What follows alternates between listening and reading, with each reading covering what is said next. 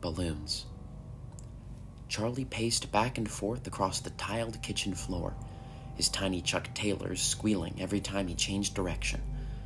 Come on, Petey. They're already outside. It doesn't start for another half an hour, Charlie. See? The clowns are still smoking. Peter was right. Bingo the clown was sitting in front of his balloon truck in yellow trousers and a red hot chili peppers t shirt, rattling the cancer out of a pack of Marlboros. Peter smiled at what he mistook for dismay on Charlie's face. It was euphoria. Balloons! Seriously, Charlie? Still? You're eight years old, man. Those things kill penguins. We don't have penguins here. Not anymore. What? cried Charlie, very quickly coming to tears. Just then, a knock at the door. Charlie froze. Connoisseur of balloons, perhaps, but a social butterfly he was not. Peter beckoned Charlie to him before opening the door. Charlie needed to learn not to burst into flames any time a stranger asked him a question. Peter thought maybe the adrenaline from the block party would distract him, but no dice. Grabbed Charlie's hand and dragged the trembling child to the door. Go on, open it. Charlie didn't budge. With a sigh of impatience, Peter yanked open the door. Nobody. Nothing. Not even a balloon! Charlie screamed with delight. A big, beautiful red balloon was tied to the doorknob by a glimmering red ribbon. It shone so well in the sun it seemed to be radiating its own light. It was blinding, dazzling. Charlie was bewitched. He fiddled with the knot at the base of the string with his grubby, nailless fingers. Here, Peter said absently, and worked the knot for his brother. Charlie stuck out his hand so Peter would tie the balloon to his wrist. He did so, his attention still elsewhere. He was staring at the end of the block, at a truck now bustling with life. Where once had sat a smoke sucking funk rocker with a five o'clock shadow, there now lurked a new beast. From the feet up, red shoes, yellow trousers, a purple button up with orange pom poms, a far cry from a Chili's tee, and a face painted white, blue, and red. What had sat there before was a carny choking on half a black lung, but somehow he was not the same, all fixed up. It was not that he looked different, but that there was just no trace of the smoker at all. That was someone else. Someone not covered in clean, colored paint. Someone not wearing bright, baggy pants, and certainly not someone shrouded in balloons. What's more, he was so far away. Peter scanned down the block for the other balloon man, the one who had tied Charlie's to the door. There were cotton candy carts, elephant ear stands, skee ball, and spinning teacups, several of each. You could buy a lemonade six times down the block and a hot dog six more. But there was only one balloon truck, only one balloon man. How the hell did he get here and back so fast? Peter thought. He must have sprinted the whole way. But he'd be out of breath then. And he sure wasn't. He still had plenty. Enough to blow up all those balloons. All. How many were there? Fifty? Seventy-five? A hundred? Yeah, at least a hundred. There had to be a pump or a machine or something, but no. There he was, huffing away like his chest wasn't full of tar and nicotine. In the time it took Peter to invent a phony penguin genocide, that man had transformed into a McDonald grade child magnet and conjured up a nest of balloons. And just as he thought it, the child magnet started to reel in his kid brother from down the street. Peter had just enough time to see a red balloon bobbing its way down the block before Charlie was lost in the throng. Charlie? Charlie, wait! Peter trudged headlong into the mass of block partiers. He waded through until he saw a tiny hand with a red ribbon. He made a final sprint, shoulder checking parents and peddlers. He snatched up the hand and whipped it around to face his brother. Instead, he faced a Cheeto fingered toddler with tears rolling down its cheeks.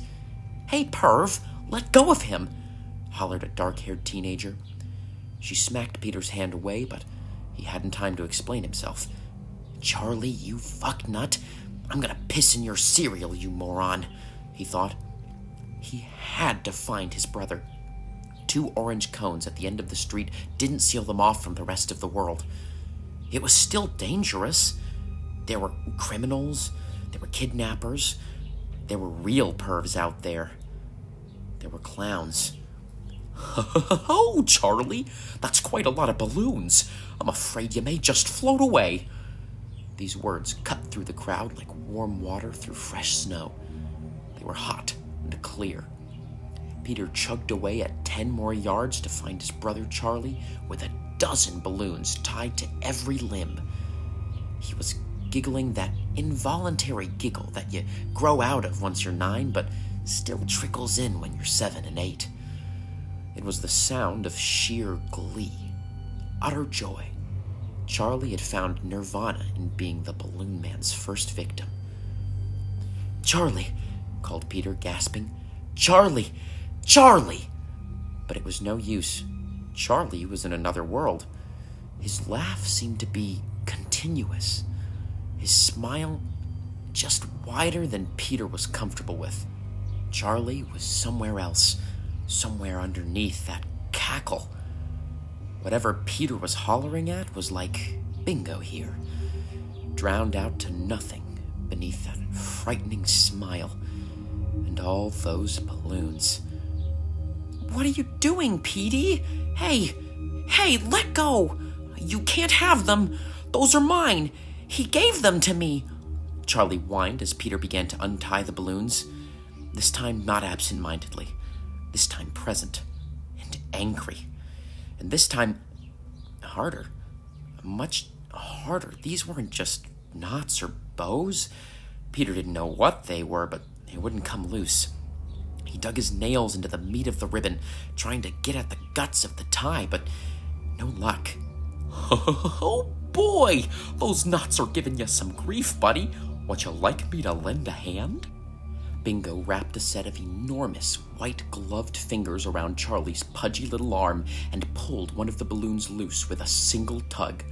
Ooh, that was a toughie! Oh, Peter made eye contact with Bingo as the balloon ribbon slid off Charlie's wrist and into the summer air. He took in his whole face the white paint, the blue eyes, the red nose, the red lips, the white teeth. Teeth teeth. Peter began to tear balloons off of Charlie's arm, one by one, pulling at the ribbons until they snapped. He grabbed whole handfuls of ribbons and yanked them off at once. Charlie screamed, Ow! It hurts, Petey! Stop it! Stop! It hurts! As the last balloon floated away, Charlie sat on the concrete, crying hard. There were red burns up and down his arm where the ribbon had been drawn against his skin. A small crowd had formed around them, gawking at the scene the boys had made. Come on, Charlie, we're going home. He held out his hand to the wailing boy. Charlie made no move to grab it, so Peter snatched up his brother and trudged back down the block, through the funnel cakes and the cotton candy stands, all the way to their front door. He opened the door with such force that it swung into the wall behind it with a resounding crack. Petey, why did you go and do that? bawled Charlie. He sat on the floor, rubbing his arms and wiping the snot from under his nose. Peter had no answer. He was consumed by those teeth. They were white, pearly white, pristine. Never touched a cup of coffee white, certainly not chain smoking carnival clown white. There was just no way. No way that was the same man.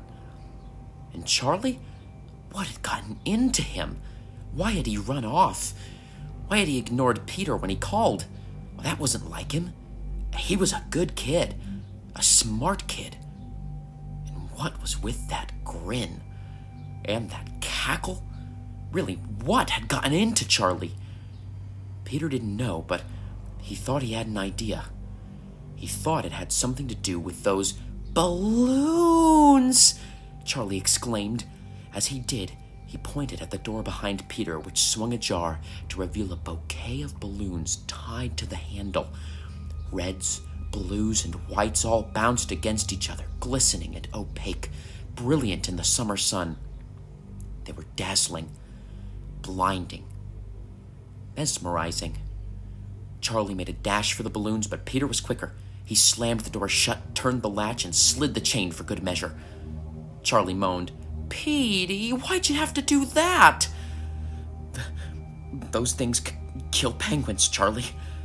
Peter grabbed his brother's wrist with one trembling hand and led him up to their room.